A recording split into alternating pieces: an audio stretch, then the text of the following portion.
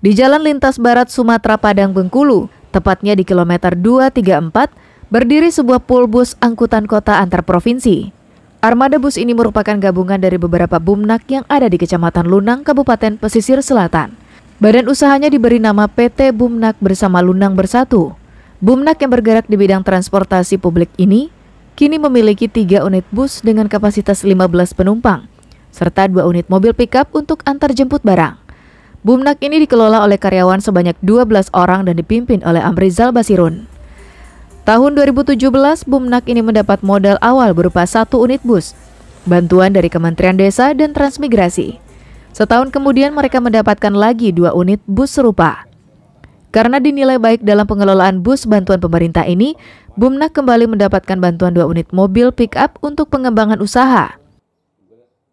Ya kami mengharapkan memang image yang selama ini orang kan bantuan ini jarang berkembang.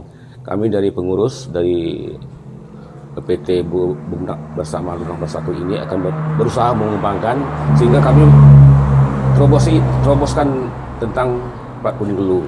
Di harapannya memang di daerah kami anak-anak sekolah, anak transmigrasi yang jauh dari kota dengan harapan nanti bisa kami bantu dengan bumerang ini untuk pulang kampung dan sebaliknya. Saat ini, bus antar kota antar provinsi Lunang Wisata telah memiliki izin trayek Padang Painan Lunang hingga Muko-Muko Bengkulu. Dalam waktu dekat, trayek tersebut akan segera dioperasionalkan sehingga bisa membantu mengantarkan warga serta mahasiswa asal Lunang yang hendak pulang ke kampungnya dengan ongkos yang lebih murah. Dari pembukuan pengurus Bumnak, tahun 2020 kemarin mereka sudah mampu mencatatkan laba hingga 100 juta rupiah lebih. Untuk sementara dari tahun awal pendirian tahun 2017 itu kita kan belum sempat mencatatkan karena bantuan baru datang. Tapi di tahun kedua itu kita sempat mendapatkan pemasukan laba kotor sekitar uh, eh, 108 juta.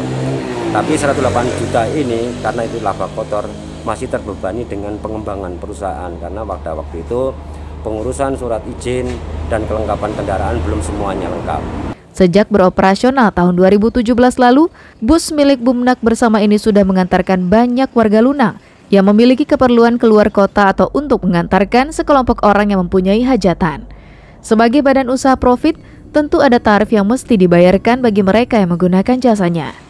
Satu hari berkisar 1.200 hingga 1.500.000 rupiah ada urusan dinas atau di kecamatan oh, baik dalam uh, kabupaten ataupun di luar kabupaten. Malahan sampai ke kota provinsi pak. Dan mobil ini sangat membantu daripada masyarakat masyarakat kami apalagi oh, kepala sekolah kepala sekolah ataupun dinas-dinas terkait yang ada urusan bisnis atau urusan kedinasan ke kabupaten atau ke provinsi. Nah, jadi sangat-sangat membantu dengan adanya mobil ini. Kami sangat terbantu kalau dengan armada ini kami sangat terbantu sekali karena dengan armada ini kami yang biasanya mabuk atau pusing di jalan dengan memakai mobil ini kami tidak merasa mabuk. Kenapa alasannya?